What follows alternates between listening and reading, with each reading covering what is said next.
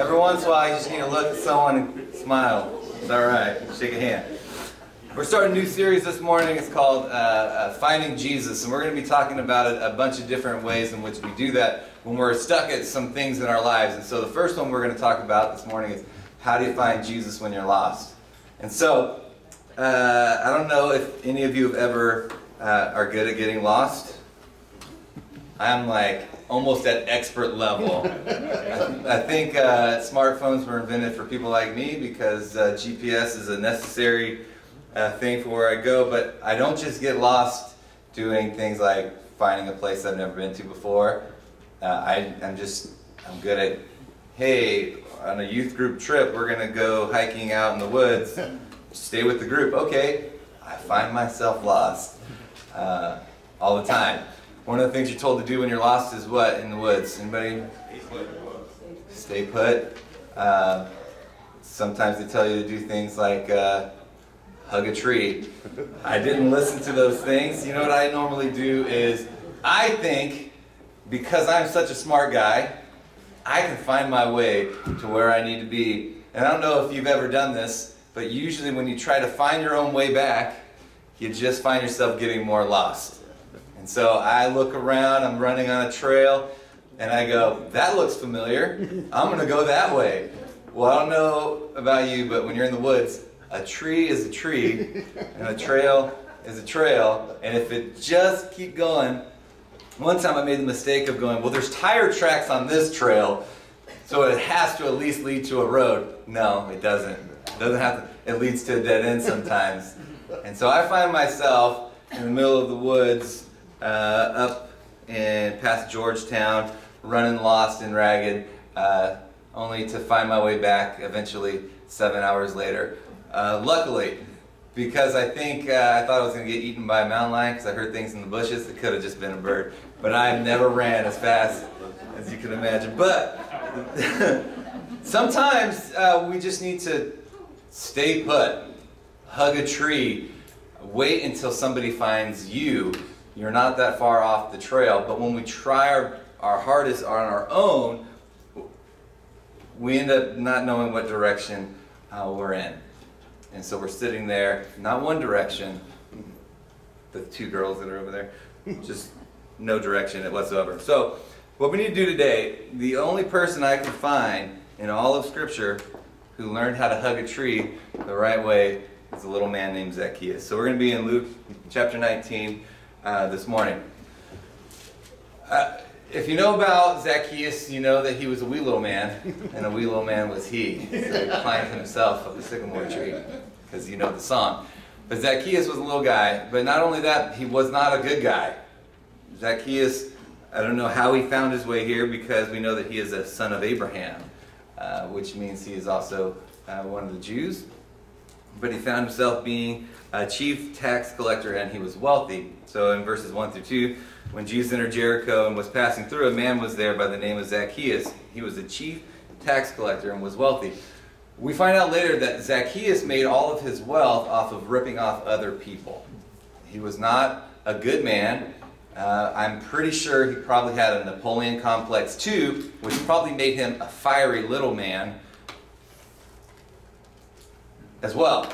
And so, if you think about what Zacchaeus is leading up to this point, we know that he, at, somewhere along the line, found himself being a cheat, a liar, uh, and found himself very wealthy, but also found himself very unhappy. We don't know much about him beforehand, but you know, it's, it's, there's something that, that stuck out to me when I was looking this uh, story up and I was doing some research.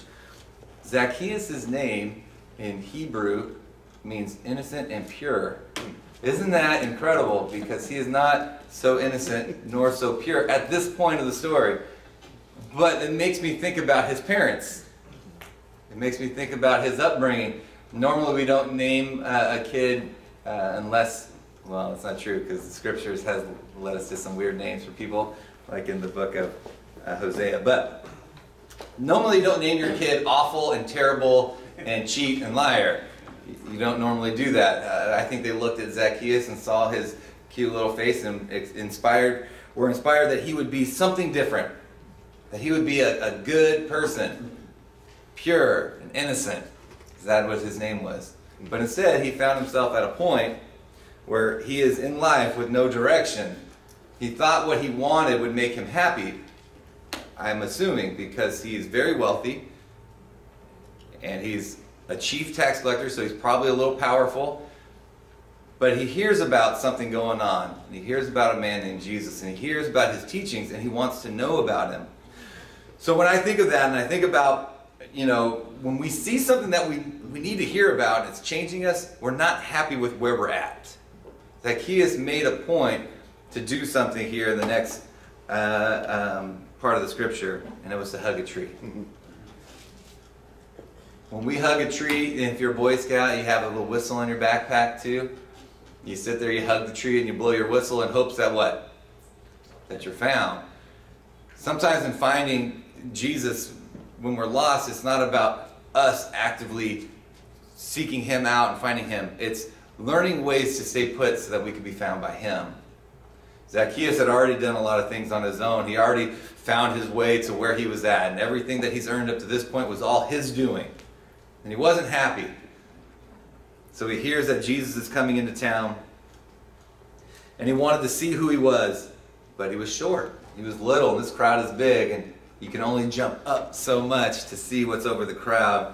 So he ran ahead and climbed up a sycamore tree to see him, since Jesus was coming his way. He was desperate in a time where he needed to know something different. So, amongst the crowd of all these people seeing Jesus coming in and hearing all the stories of what he's done in people's lives, from healing people to uh, casting out demons to doing all these amazing things, he wanted to know who Jesus was. He was lost without anywhere to be found, and he hugged a tree in hopes. I don't know. I don't know if it was in hopes that Jesus would see him or not but in hopes that he would see something different, something better, something that would change his life. And we get to a point where it pays off. All of the things that he did that were awful paid off into one final little solution here. And you know the story because you've read it when you were a kid, but Jesus reached that spot and he looked up and said, Zacchaeus, come down immediately. I must stay at your house today. So he came down at once and welcomed him gladly. It's not very often that a wicked person who cheats people and lies and, and deceives and does all these things would hear about a very righteous man. One who, even if you didn't believe in him completely as, as this coming Messiah, you knew that there wasn't anything that could be held against him. Everybody who ever talked about him talked about him in, in ways that uh, were good this man does things that we can't explain. And he looks up at you and he says, Hey, I want to stay at your house today. Zacchaeus looks and knows what's going on and says, All right, I'm ready. When we're getting stuck in our world, Zacchaeus wasn't just lost in the wilderness of our world, he wasn't even on the radar of somebody who would be a righteous man. Jesus can look out and see each of us where we're at. And if we are desperately needing to know something different in our life and we're, we're going out of our way to say, I need to know what this Jesus looks like, I need to know what he's about, and we hold on to that tree, there's going to be a time where he looks at you and sees you at your moment. It might even be your weakest and says, Ghavinn, I need to stay at your house today. Am I going to welcome him in? What ends up happening when we do this is we find a, different direction, a different path. No longer are we looking for the things that we thought we needed in order to get where we needed to go. We're not looking for the, the tracks that lead us to what we think is where we need to be. Instead, we're saying, God, I'm giving you me. Put me on the track that you want me to be on. Bring me back to you. Help me to find the path that leads me to where you are instead of the path that just keeps pulling me away pulling me away. Where I think I'm going back, but I'm doing it on my own and I'm finding the path that goes off and gets me lost to a dead end or a rock bottom. And many of you here, some of you here may have hit that rock bottom at some point in your life. Where you tried everything to get clean, but you couldn't, and you, you, you couldn't shake it, and you just found yourself at a bottom looking up saying, God, I'm ready. Only to find out that you were on a tree and he looked at you and said, I want to spend time at your house today. We find a way to have a new direction, but with that comes people who want to throw some shade in your direction. It wasn't just the tree that he was standing under, under that gave him shade. It was people in his life that said, these people started to mutter and say, why is he going to be with a guest, to be the guest of a sinner? There are moments where we start to see this kind of group of people all the time. Some of us in here may have fallen into that category at some point where somebody you know or a church is starting to let in people who look like a, a little bit of the riffraff and guys, got to tell you, if we're not a church that has a bunch of sinners in it, we're doing something wrong. Jesus spent his time with people who everybody else would talk about. Why would he want to spend his time with them? And this morning in our scripture reading, he talked about a lost sheep. A parable after that is about a woman who loses a coin. Parable after that is about a prodigal son, a son who is lost. In each of those stories, what happens is the shepherd goes out of his way and leaves the rest of the group that is found to the one that is lost, desperately seeking it out, hoping that it hasn't been already devoured by a creature like a lion or something that's out there. And when he finds it, he's overjoyed so much so that he doesn't yank that sheep and say, Why did you run away? Why didn't you just stay with the group? No, he picks that sheep up, puts it on his shoulders, runs back to the group, and says, Everybody come, let's celebrate. The one that I lost is found. The shepherd seeks him out. The woman who loses a coin in her house sweeps it out, pulls everything out, looks desperately for the one coin and finds it. Calls all of her friends. Found it. What I thought was lost is found. Come celebrate with me. A prodigal son who thinks he knows his own way. Dad, give me all of my money. I'm leaving. I don't like what you've told me to do. I want to do it myself. I want to show you that I can do it. What does he do? He goes out and loses it all. To loose living, to women that, that he probably shouldn't have been around, to friends that only wanted to be around him because he was good at buying rounds for everybody else. We're sitting here looking at people, one who looked and found something, a prodigal son who went to find his own and was completely lost and his dad desperately waiting at the porch, looking out at the driveway, hoping to see his son return alive. Finally does, and you know what he does? Something that was not known for men of that time to do. He hiked up his, his tunic or robe, and he took off running for his son. And he embraced him, gave him his robe, gave him a ring, brought him back, slaughtered a, the best calf that they had, and said, It's time to have a party because the son that I thought was dead is alive. Part of us needing to know how to find Jesus when we are lost and, and desperate is knowing that He hasn't stopped giving up searching for you. Sometimes the best way to be found by Him is to stop running away, to grab a tree, to hold on, to say, God, I'm ready ready to be found.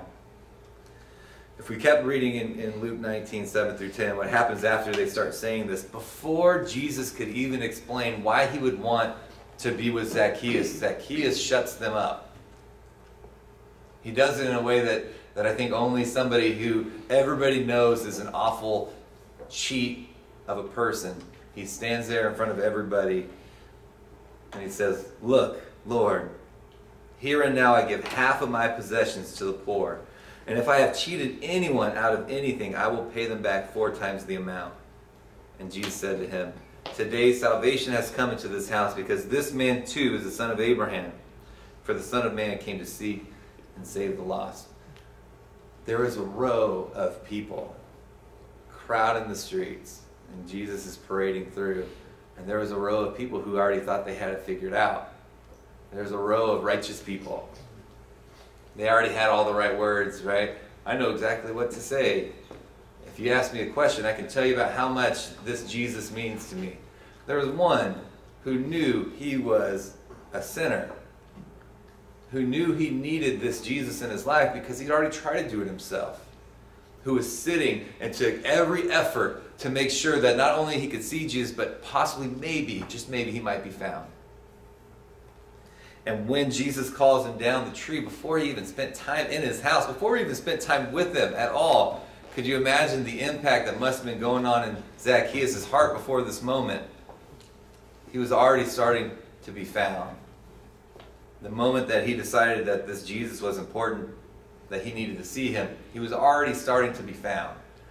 The moment that he took steps to being in that street at that time, when he's coming by, he's already starting to be found. The moment that he said, I can't just be a face in the crowd, I need to do something more, he was already starting to be found. And Jesus calls him down from that tree, and immediately he already feels this rush enough to say, I need to give this stuff that I've cheated back and then some. I need to give to those who don't have anything. I need to be changed. Part of this new direction that comes from being found when we're lost is we don't get to continue to be lost. It's kind of weird how that works out. When we're running around lost in our, our world, or like me, lost in a forest full of trees, when I found my way back, which I know wasn't just all on my doing, people were coming already looking for me. I didn't have to go all the way back. They found me actually halfway. And Unlike Jesus, though, they did say, What were you thinking? what were you thinking? Your mom's going to kill me. That's what they told me. Um, but they met me halfway. They guided me the rest of the way back. They helped me to stay on the right path. They helped me to get back to the group. And the lesson that was learned on that day was stay with.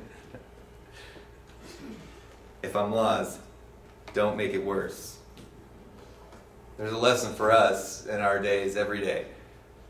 When we start to, to choose which path we want, know which one comes from the Lord. This morning in class, we were, we're in James and we're talking about temptations and trials. And we know when we're being tempted by Satan because it, it's one that leads us to destruction and to death, where we might be fooled and we might think it's going to bring us joy and bring us hope and bring us all these things that we need in our lives, but instead it just brings us to disappointment, to desperation. But the gifts that come from, from Christ, the ones that are leading us to Him, they come with a different kind of hope. It's an everlasting one. It says that every good and perfect gift comes from the Lord. We know this because it's tested, it's lasting. When you're lost and when you're stuck and, and when you keep finding ways to choose the wrong path, take a moment to just stop, to sit within it. When I was doing counseling with, um, with couples and, and, with kids that struggled with emotional disturbance and different things, there, there's a technique that we use sometimes that's called uh, thought stopping. Sounds weird. It's hard to say if you do it really fast. Thought stopping. Um, what it is is when they keep saying negative things about themselves and bringing themselves down, you have to teach them to take a moment to stop and understand what they're doing to themselves. And then bring in some reinforcements of the opposite. Let me hear something about yourself that you think is good. We do this often if we're, if we're running away from God and we're doing different things on our own. Take a moment to stop and see who's pursuing you. See the father who is sitting at the porch running down the driveway after you calling you to come back home, wants to spend time with you. And I hope that our response could be the same that when we're found, our life actually changes. That we can't look at the mirror and not and just see the same person that was there before, but instead one that's changed. And of all people who we can learn from, not just in when you're lost, hug a tree, but when you're lost and you're found, how your life changes, Zacchaeus. And I don't think anybody who knew Zacchaeus before this would say that about him. But he changed and became a generous person instead of a greedy one. Became somebody who loved the Lord instead of one who just loved himself. We start to see a man who looked at what his wrongdoings were and said, God, how can I change to, to repay this? It wasn't because he wanted to impress Jesus. It was because he was already changed by him. And he wanted to live a life for him. So look at yourself. Today is a good day to start trying something different. What is it for you that when Christ found you, you were struggling in? What steps have you made towards Him? Now, I don't want you to think that in order to do this, that you can find yourself worthy to be in God's presence, because it's the opposite. Jesus found his way to one who was the most unworthy out of the whole group and said, I want to spend time with you today. It wasn't about what he had done before he found Jesus, but it is about what we do after we are found. What are you changing today? What are you doing so that when God looks down at you, he's starting to see more of his reflection in you than your reflection in yourself? Are you allowing yourself to be more of what God has called you to do, more on his path daily, finding ways to continue to seek him out each and every morning when you wake up, each and every night before you go to bed? God, what can I do? How can I continue? How, how can I allow you full reign of this temple that you've given me. God, I want your Holy Spirit to work within me so that others will know that I am your disciple by the way in which I walk this journey of life that you call me to. This is our, our challenge and our desire each and every day that we arise to be more like Christ. But how do you do it when you're stuck in a world that's lost? Allow yourself to be found. You got to start somewhere. Stop running. Stop looking the other direction. Hug that tree and let Jesus find you and change you. Let's go to God in prayer. Dear Father, Lord, you're an awesome and amazing God, and we don't deserve to be in your presence. We don't deserve for you to, to find us worthy, that you would give us your spirit to dwell within us. But God, I, I'm so thankful that you never stop seeking us. That when we are that one lost sheep, that you are desperately going out, hoping to find us before we have been devoured, so that you can bring us on your shoulders and that the heavens will rejoice because one who was lost is found. A sinner who was lost to death, repented, and found life. And God, I pray that we don't lose sight of how important that is, but that we choose life. We choose you instead of the darkness that Satan has for us, God. We pray this in your son's name. Amen. One thing just to leave with it is way easier to know uh, that you will be extremely lost, even more so when, when darkness comes. One of the reasons that I ran extra fast, the sun was setting on a day where I had already been lost for about four hours. I've always felt like darkness in the middle of nowhere led to like scary things because I watched too much TV. Um, but when we allow darkness to consume, it's so much easier for us to, to not even know what the right path is anymore. We have to take steps each and every day to let that light overwhelm us so that the path is clear, so we don't have to guess, that we know because God is with us. If you're outside of Christ and you don't know what that's like and you want to know more about it, or maybe you want to study.